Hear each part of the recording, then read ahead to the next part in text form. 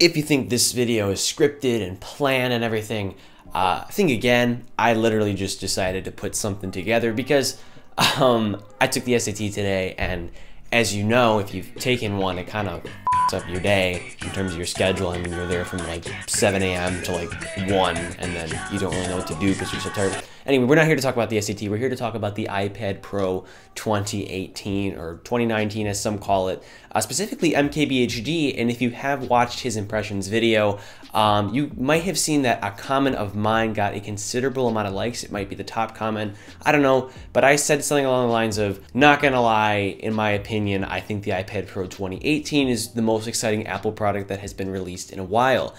And uh, some people were like, yeah, I totally agree, man. You know, I'm an illustrator, I'm a student. And some people were like, yeah, I don't really know what the hell you're talking about. It's an iPad. Um, but I'm here to kind of elaborate more on what I mean and why I'm so excited about the new iPad Pro lineup. So first of all, um, the number one reason why I love the iPad Pro 2018 or 2019 or whatever you want to call it is the radically different design. And for the first time, I can confidently say that about an Apple product. I've never seen such a big shift. I mean, and that's Apple. You know, it's they never usually change up things that drastically. I mean, the entire body has been redesigned and the iPhone uh, 5S and 5. I mean, it has a very angular looking design, which looks really killer. And then the bezels, I mean, some people are complaining, oh, well, like, the bezels are like thicker than the iPad Pro 10.5 inches side bezels, whatever. They're uniform. The screen is bigger. It's now 11 inches on the 10.5 inch form factor. We now have a smaller iPad Pro 12.9 inch, which looked ridiculously big in its previous gen, you know, body, chassis, whatever. I just think the thing looks phenomenal without the home button, uh, and it's super thin too, as Marques put it. It's 5.9 millimeters thin. I mean, it's getting to the point where it's like a notebook-sized device. The Apple Pencil with it uh, makes it a great tool for students or illustrators. And for me, like I'm going to college next year, I love taking handwritten notes and I have like a ton of composition notebooks. I really might consider buying this because you know, the Apple Pencil has been refined significantly. We now no longer have that, quite frankly, retarded charging method. It now uh, connects or attaches itself to the body of the iPad Pro. So once again, great new design. And yeah, I'm totally excited to possibly buy one of these and test it out for my own academic um, uses, especially, like I said, note-taking. Another reason I'm super excited about the iPad Pro 2018 is the new gesture-based uh, navigation. I love it on the iPhone XS, and it should be great on the iPad Pro now. USB Type-C came out of left field. I don't think anybody expected that, and I'm very proud of Apple for doing that. I mean, it's such a big step for them, a company that is so used to making these very incremental changes to their products. I think it has great potential in the future, especially if and when Apple decides to optimize iOS to better fit the Pro body of the iPad. You know, maybe they might implement more Mac OS features into it. I don't know. We've yet to see. People say that iOS 13 is supposed to be even better. The interface is supposed to change, etc., etc. But I mean, like, once again, it's a huge step. I like the fact that you can charge your iPhone. I love the fact that you can attach an external display, although, you know, its uses are limited. And, uh, you know, other features with USB Type-C. Um, I think it's a great port, and I'm really happy that they finally implemented it into an iOS device. I also appreciate the fact that Apple relocated the Pro connector, I think that's what they call it, so you can use the folio case, the keyboard case that Apple produces for the iPad Pro and have the screen articulated at different angles.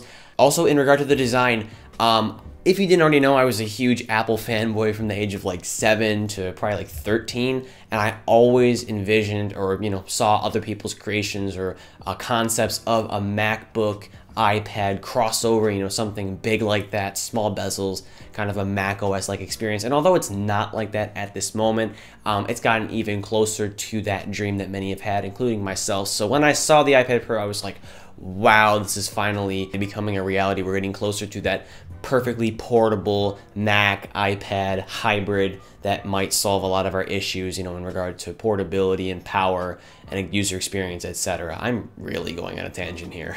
Last two things I want to talk about are the raw performance of the iPad Pro. I mean, apparently the A12 is an absolute monster. They claim it outperforms some Intel Core i7s. Uh, we've yet to see that, but um, from what they demoed on stage, it seems very, very powerful, especially accompanied with the 4 gigs of RAM found in the, uh, I think it's like a 64 to 512 gigabyte models, and then they have 6 gigs of RAM in the 1 terabyte version. I don't know who the hell would buy that, but, you know, you do you if you're that person. And then there's the pro apps that coincide with the new performance. They demoed a Photoshop thing. It was insane. It had like so many layers and just a huge, I think it was like a three gig file and they rendered it out and they did some, you know, augmented reality stuff really cool and it's very exciting that this kind of work can be done on the iPad Pro. I just pray, I pray that Apple will continue to implement more desktop oriented apps on the iPad Pro to make it, you know, a useful buy rather than just a, you know, glorified media consumption device, which many think it is. So now that I covered things that I like about it, um, let's talk about some of the downsides, some of the things that kind of left us like, what? Uh, first of all, the display is liquid crystal, you know, liquid retina, whatever they call it, you know, it's it's LCD, it's the previous technology. A lot of people were griping about that, you know, oh, why isn't there OLED in the display? You know, it's so disappointing, the product's so expensive. At this moment, OLED is not capable of the ProMotion or 120 hertz refresh rate, so I think that's the primary reason why Apple stuck with LCD, and I'm totally fine with that. If you ever use an iPad Pro in person with ProMotion, it's an insane experience. Uh, and I recommend you don't because it might ruin every other device for you with 60 hertz display.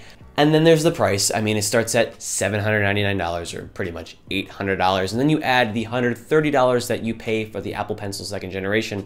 I'm kind of bummed that they just don't include it. I mean, you're already paying that much. But once again, I mean, you have to consider you know, this device might be right for the right person. I mean, if you're an illustrator, I heard a lot of artists love this device, especially for drawing. And if you're a student who takes a lot of handwritten notes, maybe you want that all-in-one solution. It's worth it to some people. It won't be worth it to a lot of people. That's why they have the iPad 2018, you know, the simple A10 oriented, regular sized iPad 9.7 inch. So that's probably worth it to most people. The iPad Pro is a more niche product, probably but it still looks really sexy and has a lot of capability under the hood with its hardware and its design, and once again, the Apple Pencil second generation. But yeah, I mean, it's expensive. There's no denying that.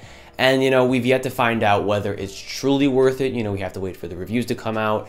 I'd personally love to review it. I don't know if I'm going to be able to. I mean, I kind of sold my soul um, financing this iPhone XS Max. So I don't know, maybe I'll get some hands on. We have yet to see. I just think that overall, Apple has really refined the design of the iPad Pro. A lot of its weird quirks have been ironed out. And uh, yeah, that's kind of the reason why I'm really excited about it. That's all I really have to say about the iPad Pro uh, 2018 or 2019, whatever you want to call it. Uh, I'm surprised I've kept this under 20 minutes unscripted. I kind of just decided to get up here, and talk about the product. I've kind of had ideas in my head all day. And uh, yeah, I hope this was valuable to you in some way. Uh, once again, I'd love to do a review on this, so stay tuned. It might happen. I'd really appreciate it if you leave a like in the video, comment if you have any questions or suggestions, and subscribe for more content like this. And as always, I'm Noah, and I will catch you all in the next one.